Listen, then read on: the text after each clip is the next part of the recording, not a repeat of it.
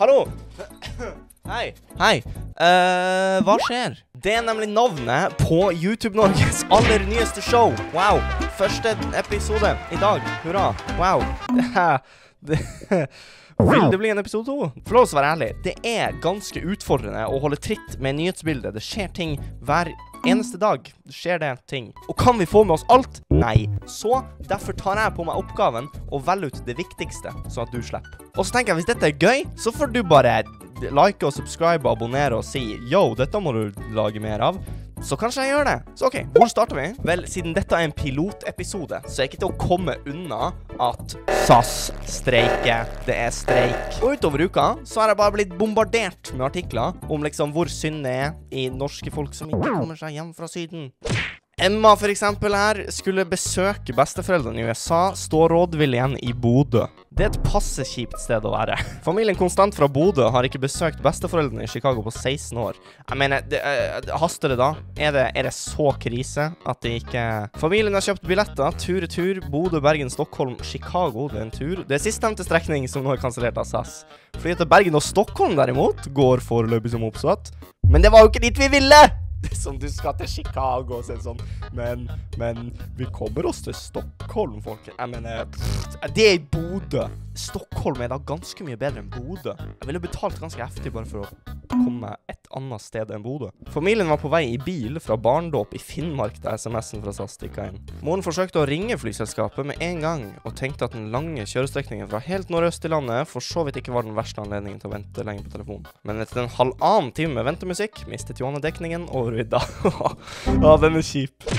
Norsk familie strandet i Spania. Er jo litt kjipt. Altså Tenk deg de journalistene som har vært på jobb her, på spreng for å finne liksom de beste sympatisakene. Og så har de klart å finne en gjeng som er i Spania og bare får ekstra dager i Syden.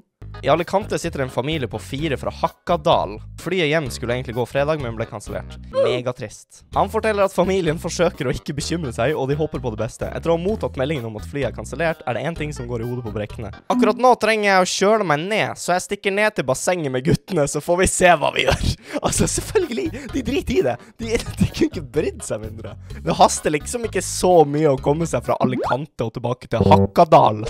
Andre folk velger en kreativ løsning, sånn som denne gjengen her, som unngikk flykaos med danskebåten. Visste det ville bli tull. For å slippe å bli sittende fast på flyplassen, valgte storfamilien fra Vestlandet sjøveien til ferien. Og det har jo vært en enorm suksess. Vi kunne ikke spise så mye fordi vi var så sjøsyke, men det var bra utvalg av mat, i hvert fall, sier datteren Maria. Det er helt fantastisk. Kunne ikke, det kunne ikke blitt bedre. Nydelig ferie der, altså. Solveig kommer til å lete godt etter flybilletter for å slippe å reise med båt hjem til Norge igjen. Vi kommer til å prøve å finne fly hjem. Hvorfor det? Nei, sjøsyk, verdens tynneste madrass og bare kjedelig. Åh, danskebåten. Det, det beste er egentlig sånn bare kjedelig. Hei, de har fått artikkel i avisa. De har kommet i VG. Det føler jeg stas nok. Bare kjedelig.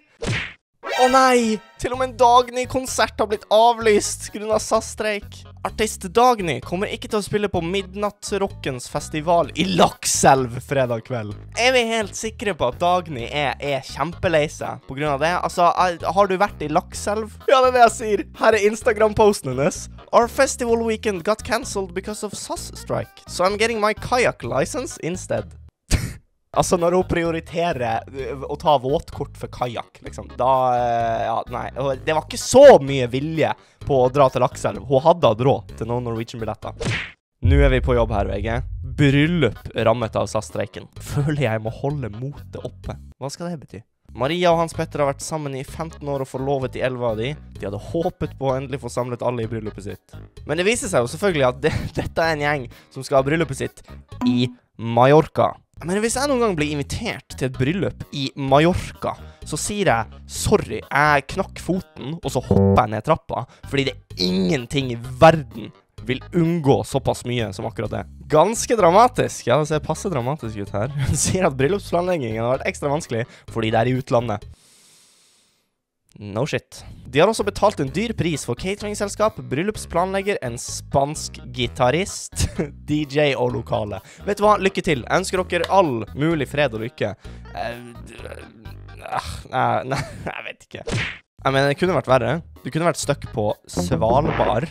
Sånn den gjengen her, de får ingen hjelp. Strandede charterturister i utlandet hentes hjem av SAS. Turister som har tatt turen til Svalbard, får ikke samme tilbud. Hanne-Marit og Maren tør ikke å planlegge noen aktiviteter på Svalbard i tilfelle en mulig hjemreise dukker opp. Det er vel kanskje begrensa hvor mange aktiviteter som er mulig å gjøre uansett, men jeg mener prøv å ikke bli spist av isbjørn enn så lenge, tenker jeg. Det er kanskje den beste aktiviteten. Noen alternative løsninger er bedre enn andre, f.eks. denne.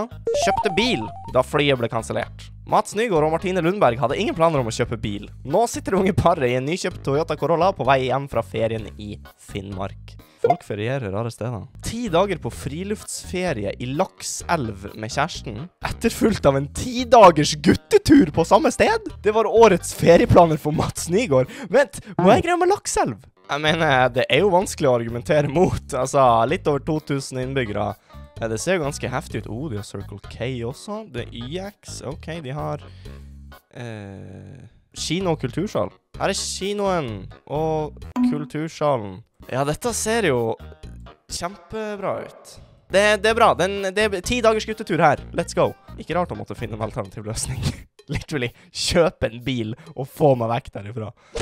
Ah, ikke sant, her har vi det. Bruden mistet sitt eget bryllup etter SAS-kansellering. Therese Kronløv skulle ha giftet seg hjemme i Sverige lørdag. Det var bare et problem. Bruden selv satt streikefast i Spania. Se hvor trist det er. De har liksom stilt opp med kjolene, de holdkjolene de skulle ha brukt. Åh, det er så trist. By the way, er det fortsatt sånn Er det, er det fortsatt sånn krig i Ukraina? Det, folk driver og dør? Ja, OK. Kanskje min absolutte favorittsak denne uka er reiseselskapet Apollo, som gir tydelig beskjed. Det er nok nå. Apollo redda streiken. Takk. Det måtte gå litt over to uker med at liksom alle kundene deres bare har blitt fullstendig herja med. Og så sier de da, da, da er det nok. Det, det er nok det er nok nå. Er du enig med Apollo? Kommenter. Til og med Thomas Seltzer er sint. Det Jeg vet ikke om det sier så mye. Jeg tror han jeg tror han er ofte sint. Heldigvis så er Dagbladet på plass med en ganske god og informativ sak. Dette skjer når streiken er over. Og jeg leste gjennom hele saken, og det, det er ikke noe vits å lese den igjen. Kort, kort oppsummert, flyene begynner å fly igjen. Det er det som skjer. Jeg vet ikke hva jeg forventa når jeg klikka innpå, men det, det er det som skjer. Nok SAS-streik. Ukas gladsak kommer fra Dagbladet. Testet sprutorgasmeteknikk. Fantastisk! Den har jeg dessverre ikke tilgang til, fordi jeg har ikke Dagbladet pluss. Så hvis du har lyst til å sponse meg og, og, støtte meg, sånn at jeg kan kjøpe Dagbladet pluss og få tilgang til sånne viktige artikler som det her, så kan du bli medlem på kanalen. Og da får du i tillegg tilgang til eksklusive videoer som ingen andre får lov til å se. Kanskje til og med mer for pengene enn Dagbladet pluss. Bare, bare litt Wow! Gjennomvåt madrass. Nå har jeg klart å sprute. Fantastisk. Hva er det for noe? Silje Reistad. Håper journalistutdanninga hadde vært det. Jesus. Og det var alt av gladnyheter, fordi Norge har prestert å ryke ut av EM i fotball. Og tre kamper var alt vi fikk. Vi kom ikke forbi gruppespillet engang. Jeg så alle kampene. De var ganske ræva. Det mest imponerende egentlig i løpet av hele turneringa var at vi presterte å tape 8-0 mot England. Først fikk England en ganske billig straffe, så skåra de på den, og etter det Det tror jeg er for stygt til å vise, så jeg skal skåne dere. Jeg tenker sånn, Selvfølgelig er det kjipt, men samtidig, det er jo litt kult å i det minste bli historisk, da. Tenker sånn, Mens de først var i gang, så kunne de jo sluppe inn en 10-20 til, liksom. Det er ikke sånn at det hadde så mye å si uansett. Fra spøk til alvor, ganske krise. Eh, treneren må gå. Jeg, jeg, tror han spiller liksom alle de beste norske spillerne ut av posisjon. Det er veldig teit. Men posisjon eller ikke posisjon, altså det var slapt over hele linja. Så det, det, det er dumt å dele ut skyld her, fordi alle har skylda, egentlig.